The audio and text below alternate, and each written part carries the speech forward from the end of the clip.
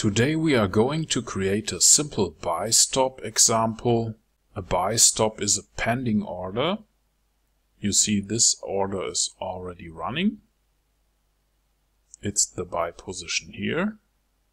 And we have two other positions that have not been triggered yet because we only want them to be triggered if the price rises above the level where we have placed the pending orders. So let's speed up the Expert Advisor a little bit and let's see what happens. For a long time nothing happens because the price is falling. And now our pending orders have been triggered. And as you can see, a few more. Actually, we can see in the graph that we have a rising balance curve. And here we can see a few profits.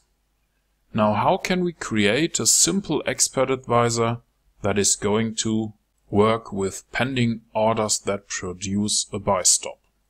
To do that, please click on the little button here or press the F4 key on your keyboard and that will bring up the Meta editor and here you want to select File, New, Expert Advisor from Template, Continue. I will call it Simple Buy Stop, Continue, Continue, and Finish. And now you can remove everything above the onTick function. And let's also remove the two comment lines here. And to do any trade at all, we need to include the trade MQH file and create an instance of ctrade with the name trade. With symbol info double, we get the ask price of the current symbol and by using normalized double for the number of digits behind the dot, we ensure that we are always working with the right numbers because we have currencies with only three digits behind the dot and other currencies with five digits behind the dot and the result will be the ask price and it will be stored in a variable called ask and that is a variable of the type double. I would also like to get the account balance that is done by using account info double, account underline balance and the result will be stored in a variable called balance. And now I want to do the same thing for the account equity.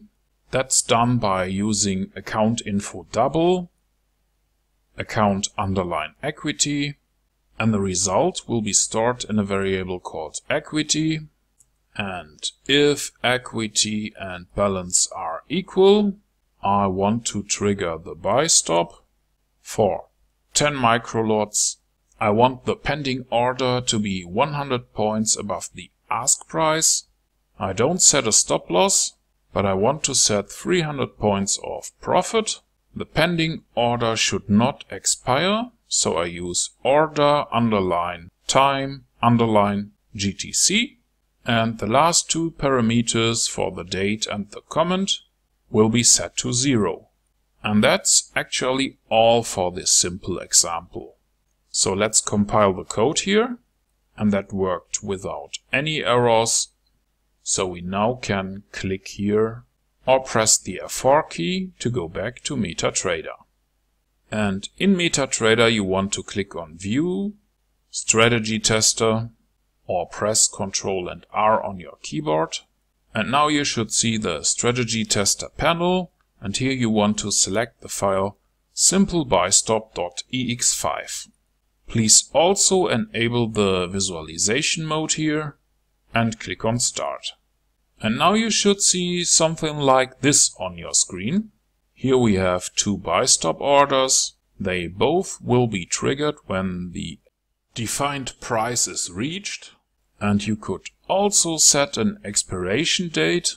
But for this very simple example, I think you understood the difference between a normal buy trade and a buy stop.